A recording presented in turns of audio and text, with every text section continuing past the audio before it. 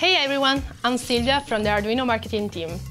Join me in an exciting new project with the Arduino Plug and Make Kit, the touchless lamp. So grab your Modulino pixels and the Modulino distance and let's learn how to control the brightness and the colors of the LEDs. First, let's connect the Modulino distance and the Modulino pixels to our Uno R4 Wi-Fi using the Qwiic cables. Then connect the board to the computer with the USB cable. Now import the IoT template. This will upload the initial sketch to your board.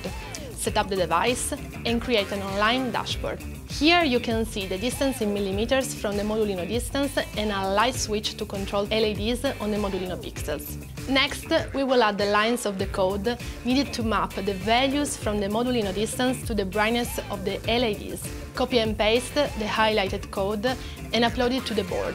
As you can see, the brightness of the LEDs now changes based on the distance detected by the sensor. Pretty cool, right? Let's upload the next part of the code. This way you can change the color of the dashboard and see the LEDs updating in real time. Get your finished project now assembly on the Modulino base. And just so you know, you can expand this project in countless ways. For example, instead of altering the brightness, you want to change the color of the LEDs with the distance. You can really customize this touchless lamp to your every need and match it to your personal style.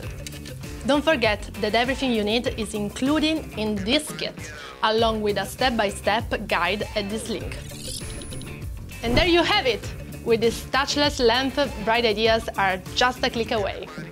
And for more exciting and amazing project ideas, check out the other project tutorials in this series.